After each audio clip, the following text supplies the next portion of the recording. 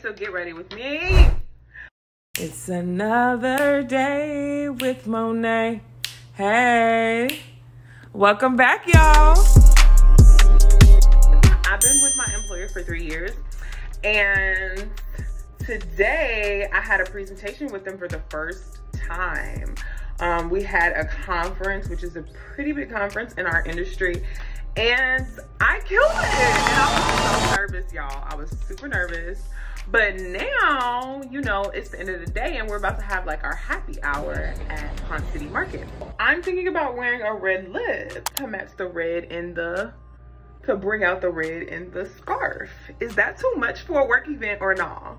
This is called Boss Lady. I got this out of a free vending machine.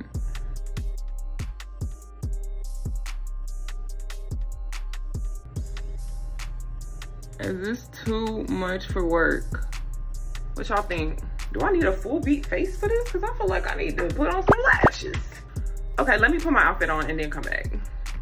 I feel like this is my favorite blazer. You'll see me in this a million times, but it's like my go-to. This pants. I feel like it works.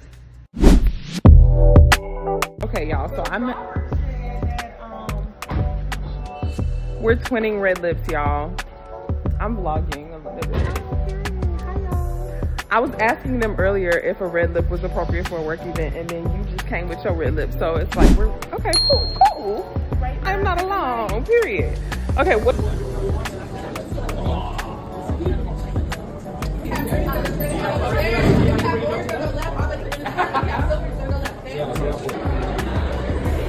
So we could go either way. So the games are out there. Okay. Oh, do? Yeah, oh, no. Yeah. I work for college party.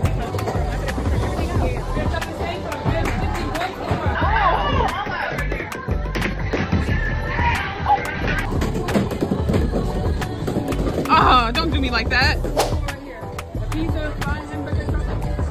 Look at me, I'm a winner, baby. Stop playing.